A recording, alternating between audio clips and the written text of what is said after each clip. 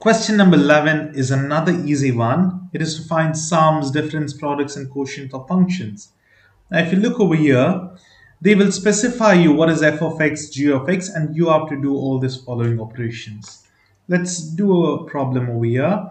They're all simple and straightforward. The same method is followed. Here, f of, see this one given is f sorry, it's f plus g of x. What does this mean exactly? It means it's f of x plus g of x.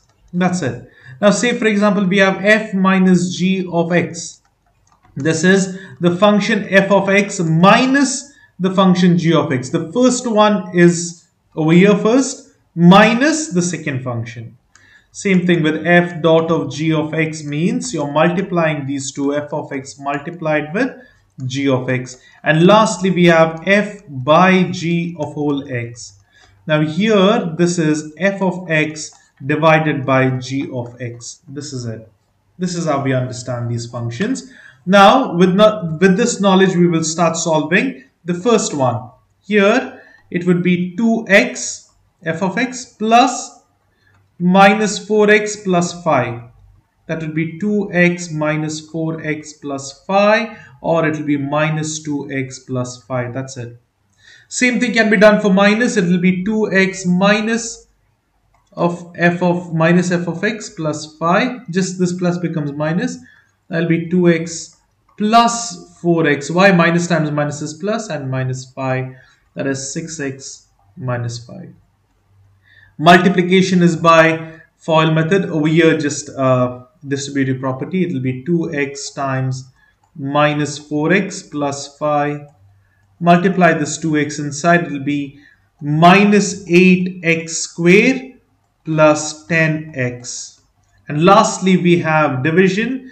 That is 2x divided by 4x plus 5 that's the answers Let's just check the answers. It's minus 2x plus 5, the first one. Yes, and then we got cx minus 6x minus 5.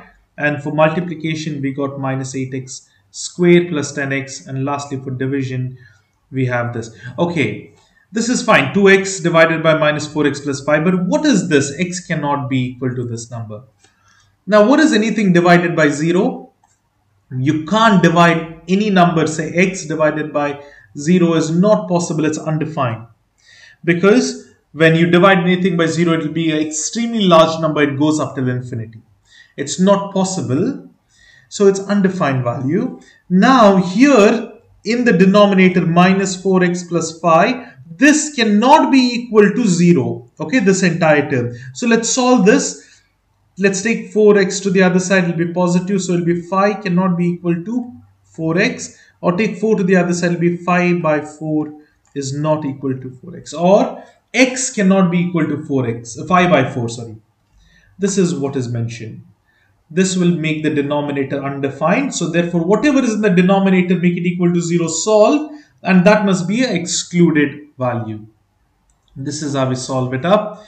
Same thing over here. I'll just do the last division part. Over here it will be x minus 1 divided by 5x minus 2.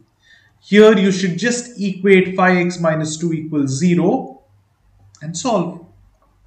5x equals 2, x equals 2 by 5. This is the excluded value. x cannot be equal to 2 by 5. I just put equal to and solved and then I'm telling the value of x when it's equal to 2 by 5 cannot be possible over here in the denominator. See over here, this adding is very straightforward and subtracting. We, we can multiply as well and then look here it is x minus 1 divided by 5x minus 2 but x does not be equal to 2 by 5. Please do the other problems over here. All the detailed solutions are available and do check your answers by solving them by yourselves. Over here it will be positive 7 by 2. If you want this presentation where all the solutions are mentioned, just click on the description and you can find the link where you can download the presentation. Here it's multiplication and this is the answer. Over here it's very straightforward. Take y 5 to the other side. First equate this equal to 0. 5 to the other side is x equals to 5. So x value couldn't be equal to 5 over there. And now over here we have similarly just adding, subtracting, and then multiplying. Lastly, we're dividing. For division, we just write it like that. That's it. And whatever is the denominator. Now, what about this here? It's a quadratic, so you need to use your calculator and solve. Let's take our calculator. Now you can press mode 5 3, that is quadratics. Now you solve it 2, 3 and minus 5. What are the x values? When x is equal to 1 and x is equal to negative 5 by 2, this will be undefined. So those two values must be excluded. x cannot be equal to 1 over there and it cannot be equal to negative 5 by 2. That's it. Same way, please do solve this problem. Over here, it's adding, it's very easy. And then subtract, divide, subtracting is also easy. Multiplication is by the rules here please first term with first term. Please remember this. Don't get confused. And then lastly division is just writing it out. And whatever is the denominator please exclude that value. It's just by mode 5 3 you can put this denominator over here and solve it up. That's the end of this uh, this particular question which is a very easy one. Please do solve by yourself and then check for the answers once you're thorough with uh, you know few of the questions then you can definitely easily solve it in your exam